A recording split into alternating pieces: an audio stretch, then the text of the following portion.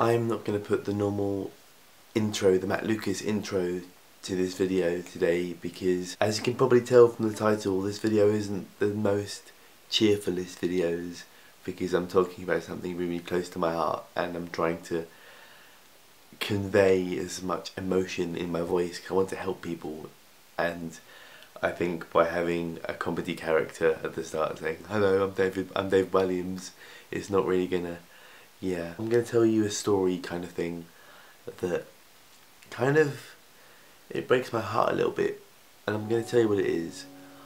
For the past two years of my life or so I have been wearing bracelets on my right wrist. Now, underneath my bracelets is just skin and bone and the veins and stuff. People have come up to me and they've known that I've made videos about self-harm before and they've asked me is that where you cut then? No, no, it's not where I cut. Well I did, for the very very very few times I did. But also, just because I'm wearing bracelets doesn't mean I have scars. It just means that perhaps I find bracelets cool. Because I do find bracelets cool. Bracelets are awesome, in my opinion. I'm literally that sad. I'm like a four year old girl, but I don't care. Bracelets are awesome. I'm trying to adjust it right now, I'm not going to kiss them or anything. I mean, it isn't just physical scars, mental scars as well. We all have mental scars in our brains and hearts and stuff, you know. All the scars on my body right now are not self-inflicted. There are three scars on my body right now. There is this scar on my elbow. When I was younger, I was cycling my bike and I rode into a car. I didn't get run over, I ran over a car on a push bike. And instead of me doing that and using my hands I did that. So I put my elbow on the road and as I was moving along a little bit and it just and oh. And the other scar on my body I'm to try and zoom in on the editing there. On my chin and that is a football injury. Yes I used to play football quite a lot at school and stuff and basically a friend of mine was running along and I was running along too and he collided with me and his tooth went into my chin and it stayed there for a little bit and then fell on the floor and I was like oh and I, I didn't realise it was bleeding at the time and it fell on the floor and I was like no no no no not my chin his tooth. God no. That'd be terrifying but like but, so my, my grandma's asleep and it's like I don't want to wake her up by going I didn't know I was bleeding at the time. And I was just carried on playing football and then my white shirt just got like a bit of red on me. Like in um, Shaun of the Dead when you, have got red on you. And um, yeah so people were saying Sam are you okay? And I was like yeah I'm fine.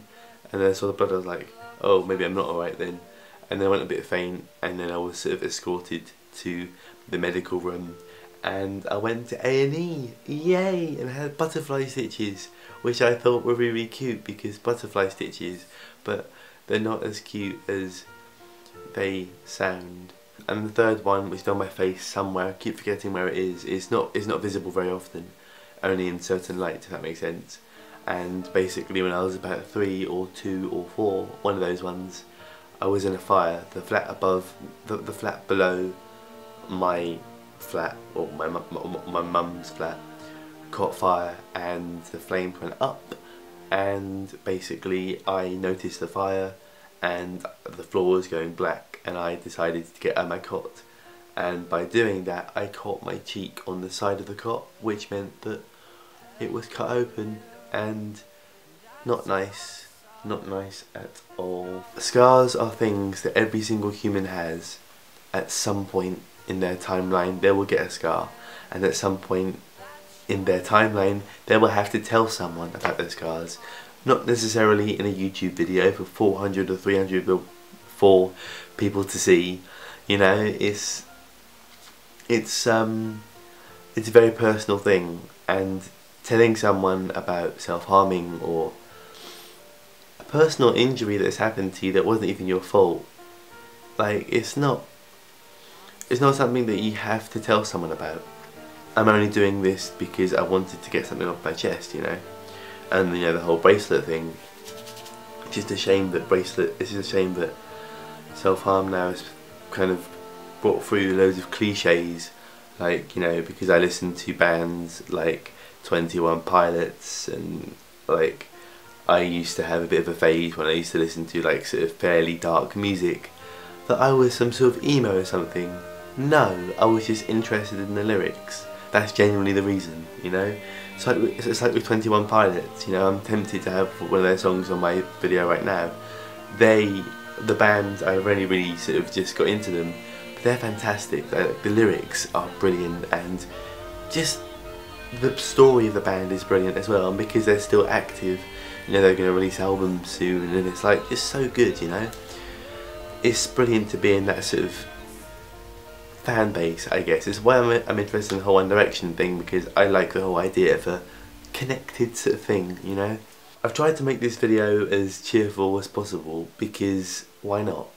You know, I've made so many depressing videos on YouTube and stuff about depression and self-harm and bullying and stuff. If you have scars and someone asks to see them and you don't feel comfortable about showing them, don't show them and if they go, oh, why not? Oh, and you think you're better than me, they clearly aren't the sort of person that you should be hanging around with if they are that insensitive, you know.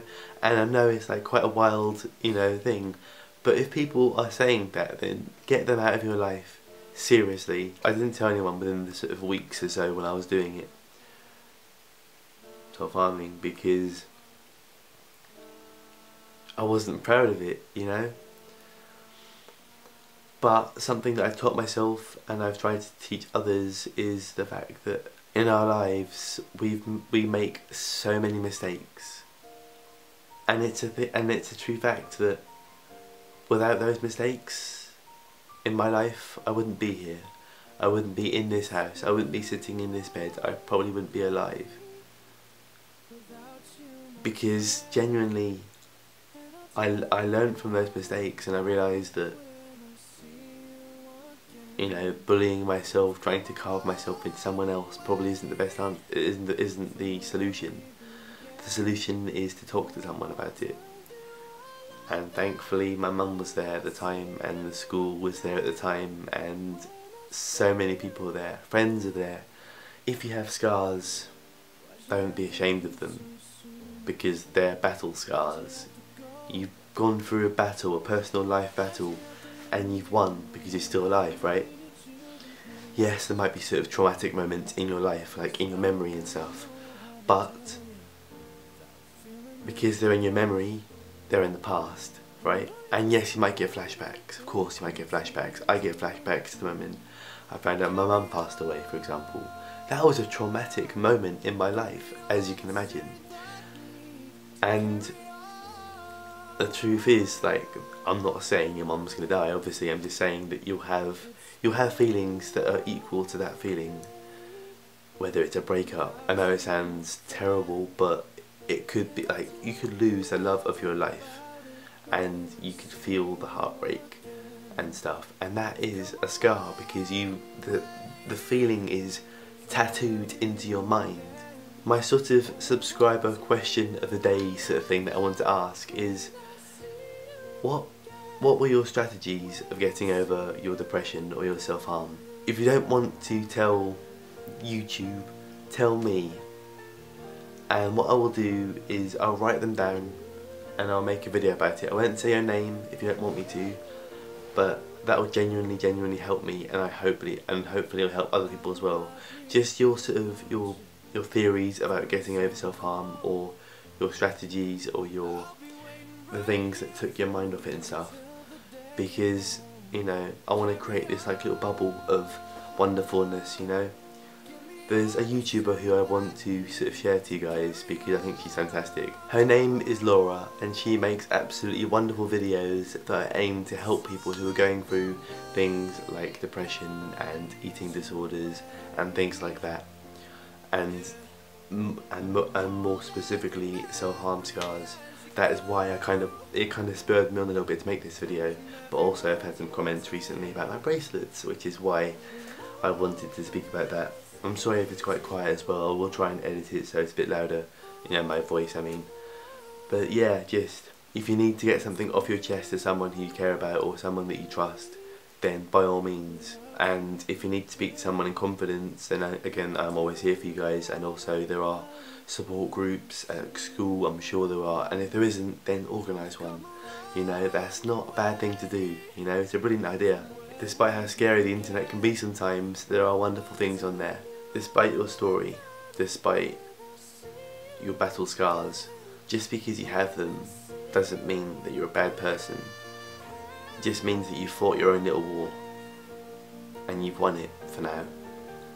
And I'm sure with the support of your family, your friends and yourself and most importantly you'll win other battles in your life.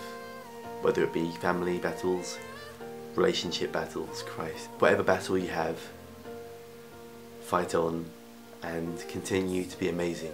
I thank you very much for watching. If you like this style of video then let me know because I would genuinely want I would genuinely love to hear what you guys think about it and give this video a like. If you enjoy my channel then subscribe and smile. In order to trust other people you have to trust yourself. So before you decide to gallivant around the world and say guys I trust you, I love you, come here. You know, say to yourself, alright Sam, I'm not, you know, I'm not saying your name Sam, but this is like the example. Alright Sam, I trust you. Not, not that not that dramatic obviously, but you know what I mean. And learn to love yourself and yeah. Alright guys, I've been dramatic for far too long. Uh, yeah, love you all and goodbye.